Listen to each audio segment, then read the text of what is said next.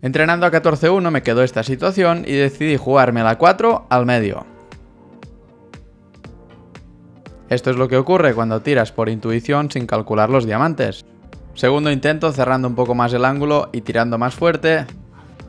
Ah, tampoco. Y tercer intento, ahora sí. Para adentro. ¿Y tú? ¿La calculas con algún sistema o prefieres ir por intuición?